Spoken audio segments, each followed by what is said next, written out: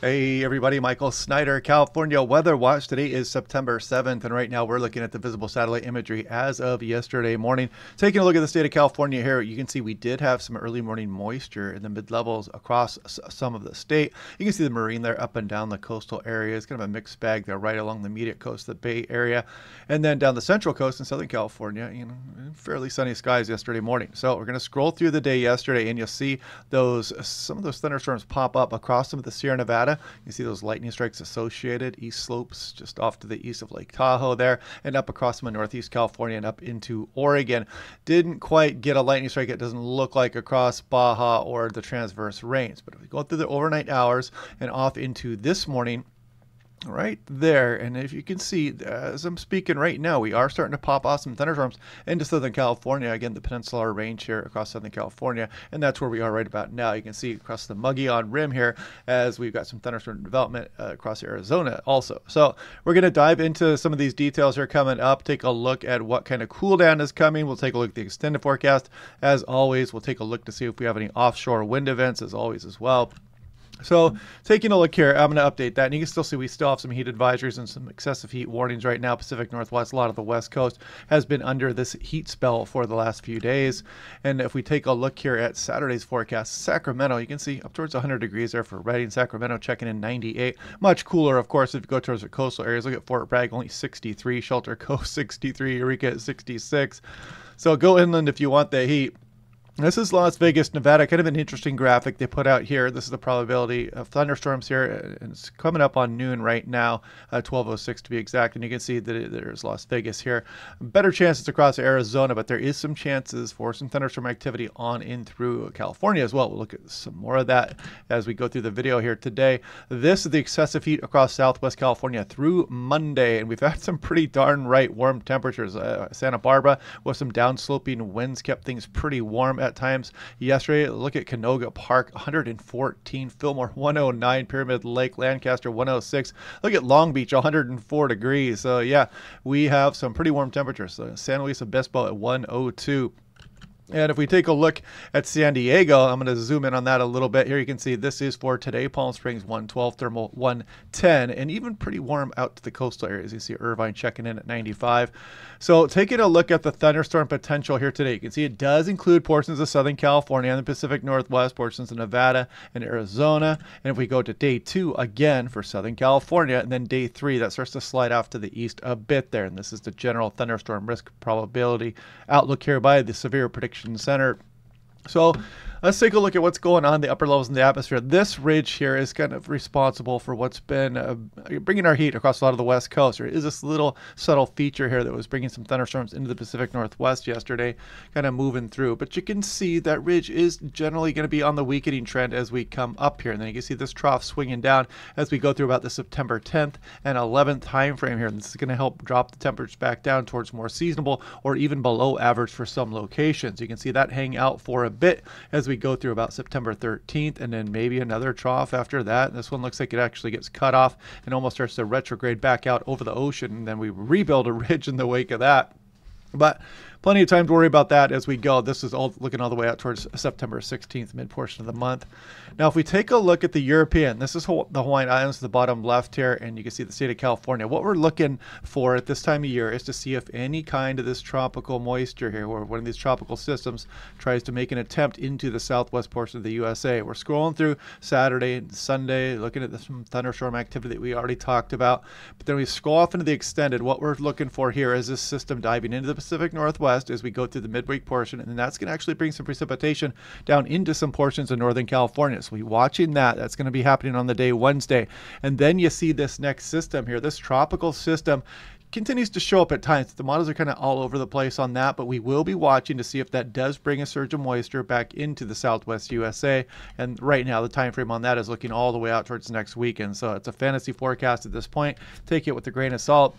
Looking at the two meter temperature anomaly, this is the European. You can see central Bay Area, northern coast, below normal temperatures. But as we scroll through here, you'll see that we get a finally get some relief here as the system's going to move into some of the west coast. And you can see the temperatures dropping back down even below normal for much of the state coming up here. But if we scroll far enough into the future, you can see a little bit of a bounce back start to occur as we go through mid September, bringing some above average conditions back on top of that. So, yeah, at least we have this cool down coming first. And then, you know, you can flip a coin for the extended forecast. Not too worried about that right now. Uh, looking at the composite reflectivity on the North American model, this is a high resolution model. Kind of shows you what the Doppler radar may look like here over the next 60 hours or so. And you can see as we go through the day today, we still have some of these showers and some of these thunderstorms out there across some of the desert areas, the high deserts out towards the California Nevada border actually look fairly strong. So this could be producing some prolific lightning here as we go through. This would be about two o'clock, uh, three o'clock. There's four o'clock and five o'clock and then we scroll on in through the nighttime hours and we take a look at what's coming tomorrow. And again, we pop off some of these showers here. So we do have that thunderstorm potential according to the North American model. And then as we scroll on in through Monday, maybe a couple showers there as well as we go on in through Monday afternoon. So taking a look at total precipitation in inches, and I just gonna want to scroll through this pretty quick. You can see the shot of moisture we're getting today. So kind of hit and miss there. You know, not everybody's going to be getting this precipitation or anything like that. Not everybody's going to be getting a thunderstorm.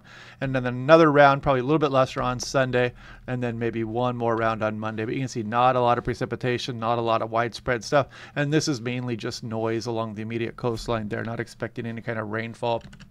If you take a look at lightning flash density potential, this is the high resolution model, and you can see that agrees, and it does uh, kind of show that risk across some of the southern Sierra Nevada for a thunderstorm this afternoon as well.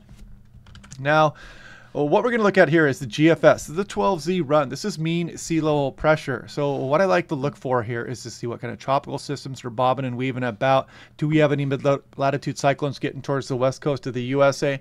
Do we have any big high pressure systems setting up over the Great Basin driving some offshore wind events here? So let's scroll through this and we'll continue to look on into this weekend. Not much showing up here. We're going to look off into the future a bit more.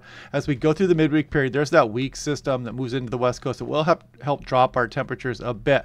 But you'll notice as I'm scrolling out into the extended forecast, we're not looking at any kind of huge high pressure system coming over the Great Basin, and that would be what could drive those offshore wind events and uh, potentially bring some of those dangerous fire conditions all the way up to the coastal areas. You can see the Pacific High kind of dominating here, and you don't see any big dome of surface pressure here across the Intermountain West. So scrolling on in through, you didn't see any kind of uh, you know, you didn't think any, see anything stand out in the tropics as well, trying to move up into the southwest. But the GFS has been showing that at times. If we look at the European artificial intelligence, let me update that. Let's do the 12Z run, which I have not actually looked at yet, but we're going to play through it and we'll take a look. You can see that system moving into the west coast here as we go through Tuesday night into Wednesday, cooling things down. There's that little tropical blurb here that's been showing up on the European that tries to move towards the Gulf of California, and that could try to bring a shot of moisture with it as we go towards next weekend, as I mentioned. But then we go into the extended, and you can see maybe a little bit of high pressure trying to build in here at times, and there we go. That's more of an offshore wind event. Mm, doesn't look terribly strong, but you can see the lower pressure here over some of the valley areas of California and the coastal areas. Bit of a trough up the coastline with the higher pressure here. That would be driving some offshore winds. So we'll be watching that as we go on into the mid portion of September. And uh, yeah, that goes about th- out about 360 hours on the European. So national blended models. This is for today. You can see some hundreds there. Bakersfield up towards 100 again for you know Redding, Chico out there. But if we scroll through tomorrow, a little bit of a cool down.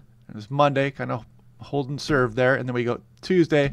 Wednesday, we start to cool things down. We're going to feel the temperature change here as we go towards the end of the week. I mean, it's not a huge cool down, not like what we had in August, but you know, you'll notice it. It's going to drop us back down from the lofty temperatures we have been having across a lot of the areas, more seasonable temperatures coming in as we go through the end of the month, or mid portion of the month, I should say.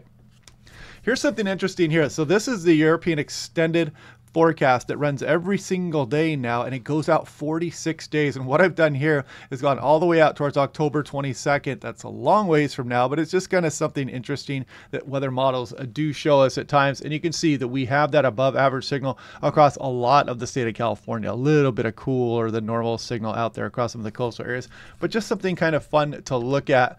And if we take a look at this, this is what is known as the Pacific North American oscillations. There's different oscillations going on. The one I most often talk about about, or the one you most often hear about, is the El Nino Southern Oscillation. That is different than this one. This is more sub-seasonal, and you can kind of see when troughs and ridges are going to be setting up right off the coastline. So this would be as in positive here, you're dealing with higher pressure out over the coastal areas, and then you bring the lower pressure out over the Pacific Ocean here when we're in negative territory. Don't worry, I'm going to show you a map on this here next, but then you can see how this kind of varies back and forth as we go towards the end of the month. And if we take a look here, this is uh, showing uh, what is the uh, positive phase right here. So this means the deeper low pressure system is out over here across the Gulf of Alaska. We'd have a stronger subtropical jet stream here and potentially wetter conditions for the state of California. See the big high pressure system there. And uh, yeah, so that would be what uh, Pacific North American positive looks like. This is what negative looks like. And this would be more characterized by a northwest jet stream here with troughing over the inland Pacific Northwest and much a weaker subtropical jet stream there also. So yeah, pretty interesting. In fact, let me back up one more time here and let's just go ahead and check that here. You can see that there is uh, some interesting stuff on there. Again, the negative phase here shows the high pressure out over the Pacific Ocean, and the positive phase would be that um, low pressure back out over the Pacific Ocean. So yeah, interesting stuff. You know, do it, do what you will with that. But this is something we will be watching as we go through the winter months here, and you can kind of see how this bounces back and forth. This becomes more of an issue, and it becomes more valuable once you get on in towards the season where these mid-latitude cyclones are trying to impact the west coast of North America. But anyway, I'm rambling on a bit here. Um, yeah, I had some kids soccer out there this morning, so I had to delay the video process until uh, what is it about just afternoon here. So anyway, I hope you guys are having a good day. Otherwise, click like and subscribe. We'll do this all again tomorrow. We'll check out all the re- recent patterns and see what the model runs have to say, and I will talk to you guys then.